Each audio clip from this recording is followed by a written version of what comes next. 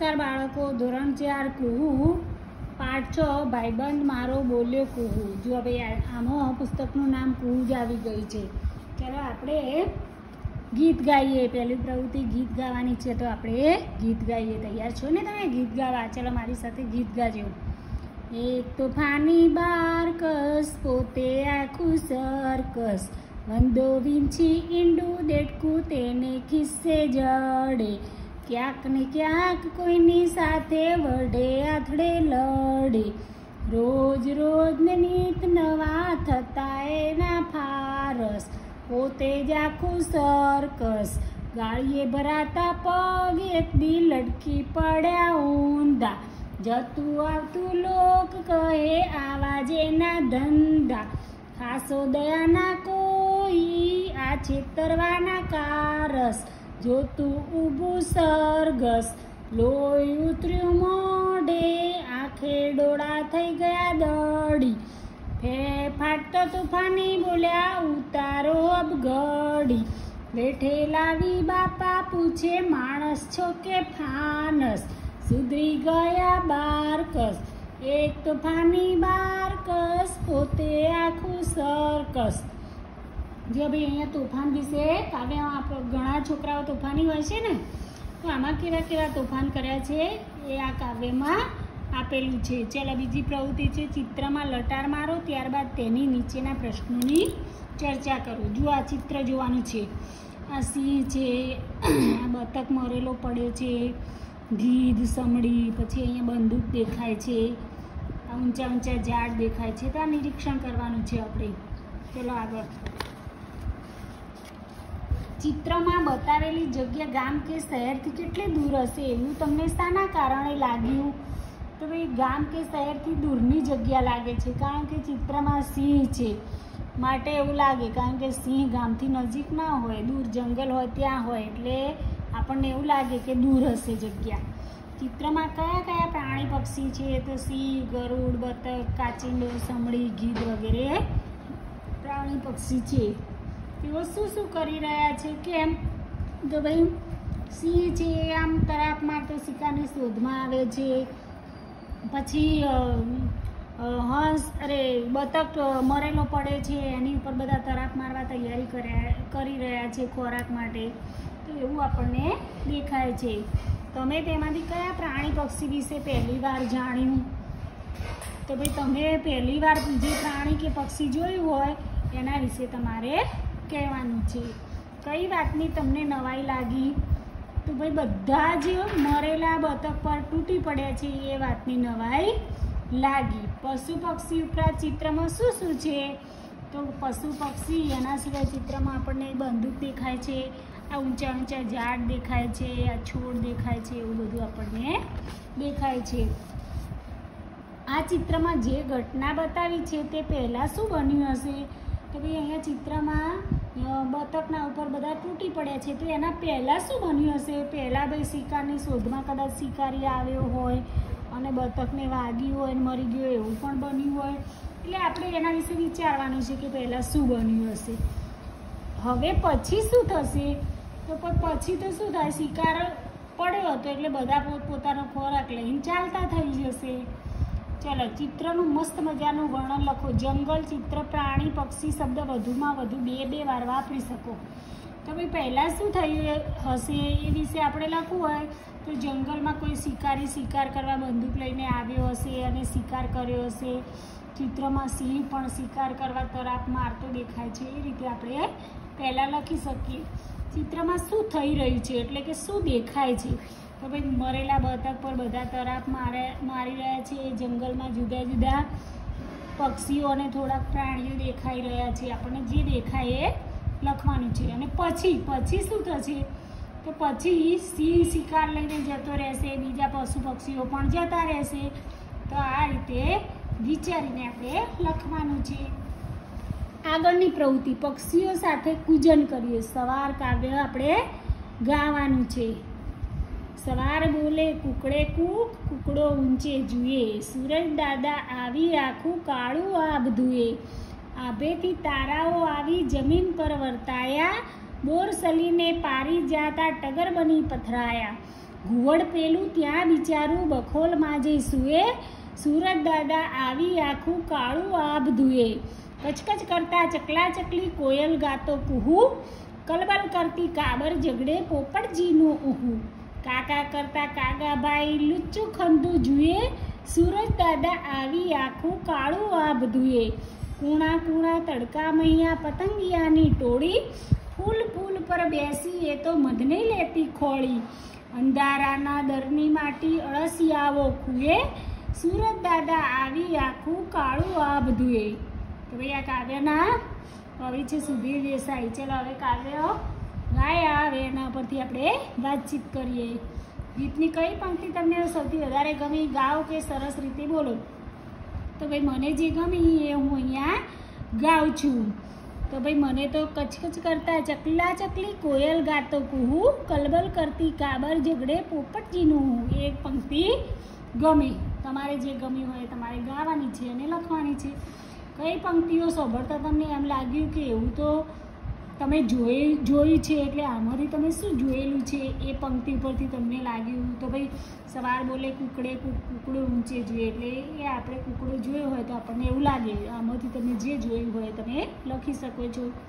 તમે સવારે ઉઠીને સૌથી પહેલાં શું કરો છો? તમારી પહેલી ત્રણ ક્રિયા કહો. તો ભાઈ, હું તો પહેલાં ઉઠું એટલે તરત ભગવાનના દર્શન કરું, પછી બ્રશ કરું, ચા નાસ્તો કરું. તમે જે કરતા હોય તમારી ત્રણ ક્રિયાઓ લખવાની છે. સવાર થયા પછી ઘરની કઈ કઈ વસ્તુ એક બાજુ મૂકી દેવાય કે બંધ કરી દેવાય?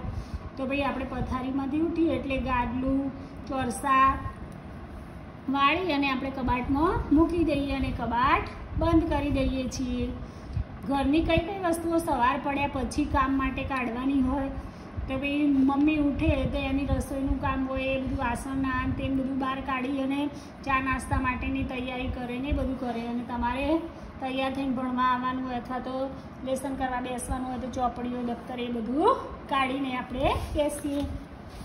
ચલો, તમારા મમ્મી, પપ્પા, ભાઈ બહેન દાદા, દાદી સવારે ઉઠીને કયા કયા કામ કરે છે? તો મમ્મી, પપ્પા શું કરે ભાઈ? મમ્મી હોય, ચા નાસ્તો કરે, પપ્પા હોય, ચા નાસ્તો કરી નોકરીએ જાય, બેન હોય તો ભણવા જાય, દાદા, દાદી હોય તો મંદિરે જાય. એ રીતે દરેક વ્યક્તિ પોતપોતાના કામ કરે. કવિતામાં આવે છે એ સિવાય સવારમાં બીજું શું શું થાય? જે કવિતામાં છે એના સિવાયનું બીજું સવારમાં શું શું થાય? તો ભાઈ સવારમાં જે ક્રિયાઓ થતી હોય એ આપણે નોંધવાની છે કે ઘરમાં ભાઈ બધા જાગી જાય ને કલાહલ ઓગણામાં કાબરો આવી જાય ને પક્ષીઓ આવી જાય ને ચકલી, નાન, તેન બધા ચી ચી કરે એટલે પક્ષીઓનો અવાજ આપણને સંભળાય, બધા પોતપોતાના કામે જાય, જે આપણને યોગ્ય લાગે આમાં લખવાનું છે. ઘુવડને બિચારું કેમ કહ્યું છે? તો કારણ કે ઘુવડ સવાર પડતા જ બખોલમાં સંતાઈ જાય. ઘુવડ એવું પક્ષી છે કે ભાઈ રાતે જ નીકળે. એટલે એને બિચારું કહ્યું છે. પાંચ પાંચના દૂધમાં કામ કરો, દરેક સભ્ય કોઈ એક અભિનય કરશે. તો ભાઈ અહીંયા જે લખ્યું છે, એનો અભિનય કરવાનો છે. પક્ષીઓની જેમ ચાંચ વડે પાંખો સાફ કરવાની છે, પાણીના કુંડામાં નાહવાનું છે, ગુવડી જેમ આંખ ફેરવો, બખોલમાં સૂઈ જાઓ, આ બધી ક્રિયાઓ આપણે કરવાની છે. ચકલી, કાબર, પોપટ, કાગડા, કોયલ બની વાતો કરો. કપડાં ધોવાને અભિનય કરવાનો છે. વોશિંગ મશીનમાં કપડાં ફરે તેમ આપણે કરવાનું છે. તો આ બધાનો આપણે અભિનય કરવાનો છે. ચલો આગળ ચિત્રને કાવ્યની પંક્તિનો નંબર આપો. તો ભાઈ અહીંયા સાત નંબર આપેલો છે. તો જુઓ અહીંયા સાત નંબર. એક, બે, ત્રણ, ચાર, પાંચ, છ અને સાત. તો ભાઈ આ ચકલા ચકલી માટે સાત નંબર છે. તો એ રીતે આપણે કાવ્યના નંબર આપવાના છે. અહીંયા આપણે બાર નંબર આપ્યો. તો બાર નંબરમાં શું છે? અહીંયા આપણે જોવાનું છે. એક, બે, ત્રણ, ચાર, પાંચ, છ, સાત, આઠ, નવ, દસ, અગિયાર ને બાર. તો ફૂલ.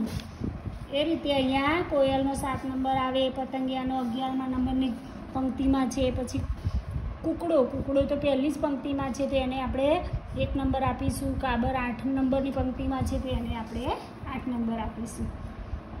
શબ્દ માટેના વાક્યો, વાંચો તે શબ્દ પરથી એક નવું વાક્ય બનાવો. ખંધુ એટલે કે લુચ્ચું. શિયાળ એકદમ ખંધુ, સારું સારું બોલીને બીજા પ્રાણીઓને ફસાવી દે.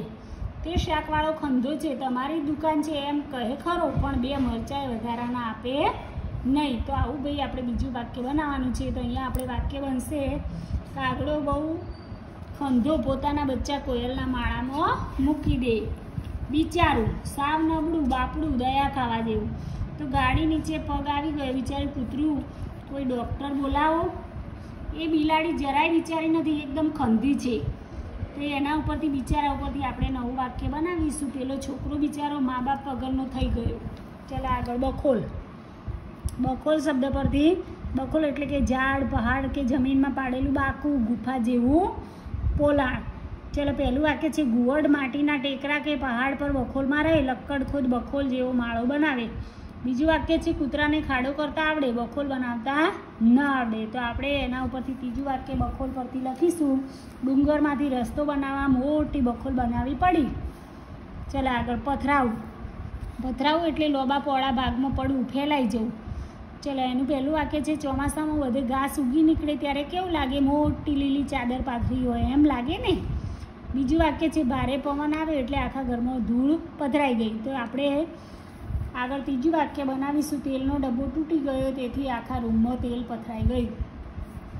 ચાલો, વર્તાવું, એટલે દેખાવું, ઓળખાઈ જવું. એનું પહેલું વાક્ય છે, મમ્મી ખૂબ દૂર ઊભા હતા, છતાં મયંકને વર્તાઈ ગયા. બીજું વાક્ય છે, સંગીતા ગમે તે જાય, તેની આવડતને કારણે વર્તાઈ આવે. તો આપણે ત્રીજું વાક્ય બનાવીશું વર્ગ વર્ગમાં ગોપાલે એના તોફાનથી બધાથી અલગ જ વર્તાઈ આવે. ખૂએ એટલે ખોદે ઉપર નીચે કરે. વાવણી પહેલાં ખેડ, ખેડૂતો હળથી ખેતર ખૂએ. બગીચાની જમીનને પંદર વીસ દિવસે ખૂવી પડે તો જ ફૂલછોડ સારા થાય. તો રીતે આપણે આગળ વાક્ય બનાવીશું. ચોમાસામાં અળસિયા આખું ખેતર ખૂવી નાખે. ચાલો આગળ. એકવાર પાછી સવાર લલકારો એટલે કે સવાર કવિતા પાછી આપણે ગાવાની છે. કવિતામાં આવતા પક્ષીઓના નામ લખો. તો કૂકડો ઘુવડ કાબર પોપટ અને કાગડો જે જે ભાઈ આવે છે ને એ આપણે લખવાના છે. આના સિવાય રહી ગયા તો તમારી જાતે શોધી અને લખવાના છે. કવિતામાં આવતા અને એક જ જગ્યાએ રહેતા સજીવોના નામ લખો. તો એક જ જગ્યાએ જે રહેતા હોય, જગ્યા ક્યારેય બદલતા ના હોય એવા સજીવોના નામ આપણે શોધીને લખવાના છે. સરખા ઉચ્ચારવાળા શબ્દોની જોડ બનાવો. જુએ ધુએ તો એવું આપણે બીજું કવિતામાંથી શોધીને લખીશું. વર્તાયા, પથરાયા સુએ ધુએ, કુહુ, ઉહુ, ટોળી, ખોળી ખુએ ધુએ. એ રીતે આપણે લખીશું. આગળ.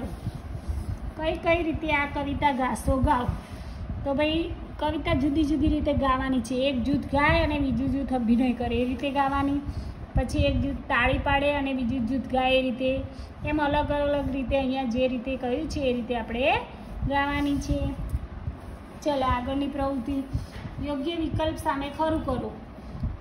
વાક્ય છે, સુરત દાદા, કાળું આપધુએ એટલે કે અજવાળું થતો આકાશ ઉજળું લાગે, આકાશને વરસાદ પાડી દઈએ સુરત દાદા, કાળું કપડું ધોવા માટે ઉગે છે.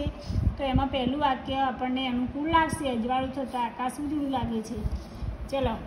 બીજું વાક્ય છે, તારા જમીન પર વર્તાયા. તો એના માટે સાચો જવાબ આવશે, ધરતી પર તારાઓનું આછું અજવાળું આવી ગઈ છે. ત્રીજા નંબરનું વાક્ય છે ફૂલ પર બેસી પતંગિયા મધ લેતા ખોળી. તો ફૂલમાં આપણને મધ ન દેખાય, પણ પતંગિયા શોધી કાઢે છે. ચલો, બોરસલીને પારિજાત ટગર બની પથરાયા. તો બોરસલી અને પારિજાત ટગરના ફૂલની જેમ જમીન પર વેરાયા છે. કાવ્યની તમને ગમતી ત્રણ પંક્તિ પાઠની જેમ લખો. તે માટે જરૂરી શબ્દ ઉમેરો કે દૂર કરી શકો. ઉદાહરણ છે, સવાર બોલે, કુકડે કૂક, કુકડો ઊંચે જુએ.